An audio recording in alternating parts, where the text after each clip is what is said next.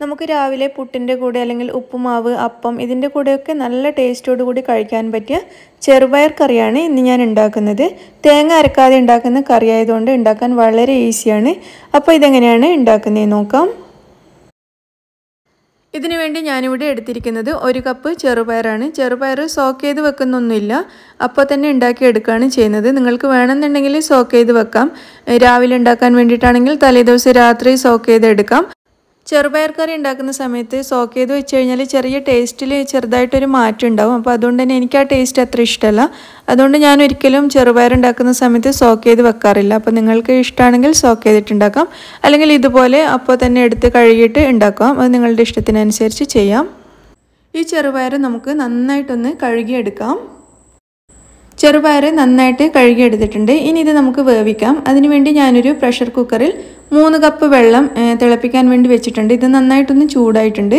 ഇനി നമ്മൾ കഴുകി വെച്ച ചെറുപയർ ഈ വെള്ളത്തിലേക്ക് ചേർത്ത് കൊടുക്കാം. ഒരു കപ്പ് ചെറുപയറിന് മൂന്ന് കപ്പ് വെള്ളമാണ് പ്രഷർ കുക്കറിൽ വെച്ചിരിക്കുന്നത്. ഇനി ഇതിലേക്ക് ആവശ്യത്തിനുള്ള ഉപ്പ് ചേർക്കാം. അര ടീസ്പൂൺ മഞ്ഞൾപ്പൊടിയും കൂടി ചേർക്കാം. എന്നിട്ട് ഇതെല്ലാം കൂടി ഒന്ന് നന്നായിട്ട് മിക്സ് ചെയ്യാം. മിക്സ് ചെയ്തതിന് ശേഷം ഈ പ്രഷർ കുക്കർ നമുക്ക് അടച്ചു വെച്ചിട്ട് വെയിറ്റ് ഇട്ട് കൊടുക്കാം. എന്നിട്ടൊരു നാല് അല്ലെങ്കിൽ അഞ്ച് വിസിൽ വരുന്നത് വരെ നമുക്ക് നന്നായിട്ട് വേവിച്ചെടുക്കാം. സോക്ക് ചെയ്ത് വെച്ച ചെറുപയറാണെങ്കിൽ രണ്ട് അല്ലെങ്കിൽ മൂന്ന് വിസിലുകൊണ്ട് തന്നെ വെന്ത് കിട്ടും. അപ്പോൾ നമ്മളിത് സോക്ക് ചെയ്ത് എടുക്കാത്തതുകൊണ്ട് തന്നെ ഒരു നാലഞ്ച് വിസിൽ വേണ്ടി വരും വെന്ത് കിട്ടാൻ വേണ്ടിയിട്ട്. അപ്പോൾ അത്രയും സമയം നമുക്കിത് നന്നായിട്ട് വേവിച്ചെടുക്കാം. നാലഞ്ച് വിസിലിന് ശേഷം ഞാനിതിന്റെ ഫ്ലെയിം ഓഫ് ചെയ്തിട്ടുണ്ടായിരുന്നു. ഇപ്പോൾ എയറൊക്കെ പോയിട്ടുണ്ടാവും. നമുക്കിതൊന്ന് തുറന്ന് നോക്കാം. ചെറുപയർ നന്നായിട്ട് വെന്തിട്ടുണ്ട്. കണ്ടില്ലേ നന്നായിട്ട് വെന്തിട്ടുണ്ട്. നമുക്കിനി ഇത് അടുപ്പത്തു നിന്ന് മാറ്റി വെക്കാം. എന്നിട്ട് ഒരല്പം പരന്നൊരു പാത്രം അടുപ്പത്തേക്ക് വെക്കുക. ഈ പാത്രം നന്നായിട്ട് ചൂടായി വരുന്ന സമയത്ത് ഇതിലേക്ക് ഒന്നര ടേബിൾ സ്പൂൺ ഓയിൽ ഒഴിച്ചു കൊടുക്കാം. ഈ ഓയിൽ ചൂടായിട്ട് വരുമ്പോൾ ഇതിലേക്ക് ഒരു ടീസ്പൂൺ കടുക് ചേർത്തിട്ട് നന്നായിട്ട് പൊട്ടിച്ചെടുക്കാം. ഇനി ഇതിലേക്ക് ഒരു ടീസ്പൂൺ വെളുത്തുള്ളി അരിഞ്ഞത് ചേർക്കാം.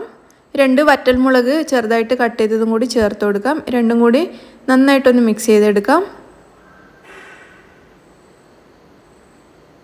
ചെറുതായിട്ടൊന്ന് വഴറ്റി ഒന്ന് വാടി വരുന്ന സമയത്ത് ഇതിലേക്കൊരു ഏഴെട്ട് ചെറിയ ഉള്ളി രണ്ട് പച്ചമുളക് അരിഞ്ഞത് അതുപോലെ കുറച്ച് കറിവേപ്പില. ഇത് മൂന്നും കൂടി ചേർത്ത് കൊടുക്കാം.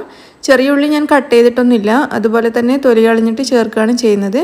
അപ്പോൾ ഇത് മൂന്നും കൂടി ചേർത്തിട്ട് നന്നായിട്ടൊന്ന് വഴറ്റിയെടുക്കാം. നമ്മൾ ചേർത്തിരിക്കുന്ന ഉള്ളിയുടെയൊക്കെ കളറ് ചെറുതായിട്ടൊന്ന് മാറി വരണം. അത്രയും സമയം നന്നായിട്ടൊന്ന് വഴറ്റുക. ഇതിപ്പോൾ ഉള്ളിയുടെയൊക്കെ കളർ നന്നായിട്ട് മാറി വന്നിട്ടുണ്ട്. ഇനി ഇതിലേക്ക് ഒരു അര ടീസ്പൂൺ വരെ മുളക് പൊടി ചേർത്ത് കൊടുക്കാം. എന്നിട്ട് നന്നായിട്ടൊന്ന് മിക്സ് ചെയ്ത് മുളക് പൊടിയുടെ പച്ചമണം ഒന്ന് മാറ്റിയെടുക്കുക. അതിനുശേഷം നമ്മൾ വേവിച്ച് വെച്ച ചെറുപയർ ഇതിലേക്ക് ചേർത്ത് കൊടുക്കാം. എന്നിട്ട് നന്നായിട്ട് മിക്സ് ചെയ്തെടുക്കാം. ചെറുപയറും ഉള്ളിയും ഒക്കെ കൂടി നന്നായിട്ടൊന്ന് യോജിച്ച് വരണം. അതിനുശേഷം ഇതിലേക്ക് ഒരു കപ്പ് വെള്ളം ചേർത്തിട്ട് വീണ്ടും നന്നായിട്ടൊന്ന് മിക്സ് ചെയ്യാം. ആദ്യം ഒരു കപ്പ് വെള്ളം ചേർത്ത് മിക്സ് ചെയ്തതിന് ശേഷം വീണ്ടും ഒരു കപ്പ് കൂടി വെള്ളം ചേർത്ത് കൊടുക്കാം. എന്നിട്ട് വീണ്ടും ഒന്നുകൂടി മിക്സ് ചെയ്തെടുക്കാം. ഈ സമയത്ത് ഉപ്പ് ചെക്ക് ചെയ്തിട്ട് ആവശ്യമാണെങ്കിൽ ചേർത്ത് കൊടുക്കണം. ഇതിലിപ്പോൾ ഞാൻ ഉപ്പ് നോക്കിയപ്പോൾ പാകത്തിനുണ്ടായിരുന്നു നന്നായിട്ട് മിക്സ് ചെയ്തതിന് ശേഷം നമുക്കിത് അടച്ചു വെച്ച് വേവിക്കണം. ഇതിപ്പോൾ നന്നായിട്ട് തിളച്ച് വരുന്നുണ്ട്. ഈ സമയത്ത് നമുക്കിത് അടച്ചു വെച്ചിട്ട് ഇതിന്റെ ഫ്ലെയിം കുറച്ച് കൊടുക്കാം. എന്നിട്ട് ചെറിയ ഫ്ലെയിമിൽ വെച്ചിട്ട് നമുക്കൊരു പതിനഞ്ച് ഇരുപത് മിനിറ്റ് വരെ ഇത് നന്നായിട്ടൊന്ന് വേവിച്ചെടുക്കാം. ഇതിൽ നമ്മൾ ചേർത്തിരിക്കുന്ന ചെറുപയറും മറ്റുള്ള സാധനങ്ങളും ഒക്കെ കൂടി നന്നായിട്ടൊന്ന് യോജിച്ച് വരണം. അതിന് വേണ്ടിയിട്ട് ഒരു പതിനഞ്ച് ഇരുപത് മിനിറ്റ് വരെ നമുക്കിത് നന്നായിട്ട് വേവിച്ചെടുക്കാം. ഇപ്പോൾ ഒരു ഇരുപത് മിനിറ്റൊക്കെ കഴിഞ്ഞിട്ടുണ്ട്. നമുക്കിതൊന്ന് തുറന്ന് നോക്കാം. ഇത് കണ്ടില്ലേ? ചെറുപയറിൽ നമ്മൾ ചേർത്ത വെള്ളമൊക്കെ കുറച്ച് വറ്റിയിട്ടുണ്ട്.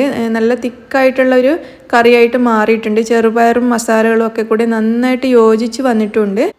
തേങ്ങ ചേർക്കാതെ തന്നെ നമുക്ക് ഇതുപോലെ വളരെ ടേസ്റ്റി ആയിട്ട് ഈ ചെറുപയർ കറി ഉണ്ടാക്കാം.